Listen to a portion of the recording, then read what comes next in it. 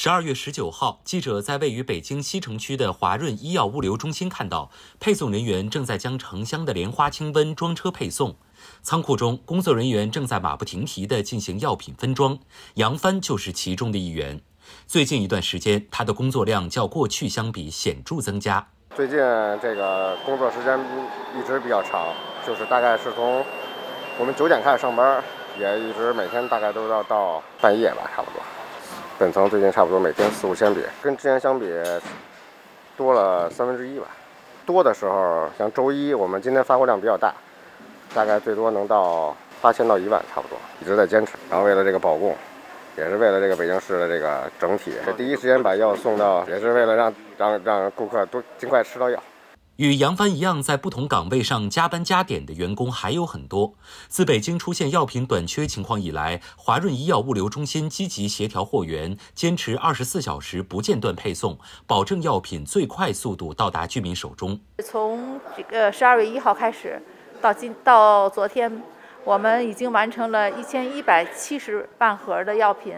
配送。那么涉及的我们的莲花清瘟是六百二十万盒。我们的蓝芩口服液是二十六万盒，那么退热类的对乙酰氨基酚，还有我们的布洛芬加在一起是一百万盒。我们整个这个物流的吞吐量，我们原来是每天是三到五万件，我们现在今天要出库的就要四百多万件，主要就是这个抗病毒类和退热类。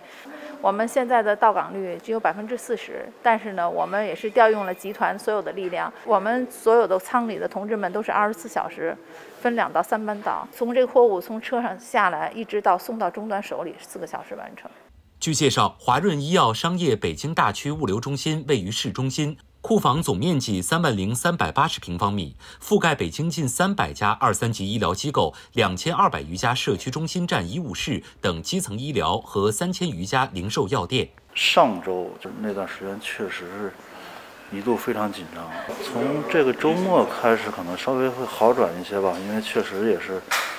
市里区里啊也都是在积极的调配药品，包括他们的这个配送商啊。周六可能调了两千瓶的那个布洛芬啊，然后今天上午有可能调集了好多这个莲花清瘟啊，可能比过去情况有所好转啊，但是我觉得可能总量还是相对还是不足，还是嗯达不到这个就是就是随药随有这种状况，也只能保证我们发热门诊的病人这个用用药，其他的可能有些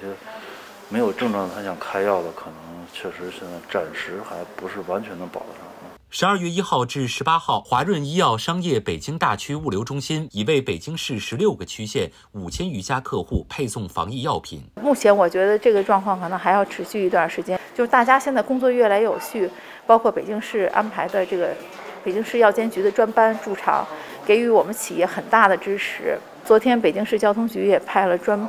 专门的这个交警。来帮我们来维持这个道路的交通，保证这个这个顺畅的状态，也助力我们能够把药品尽快送到老百姓的手里。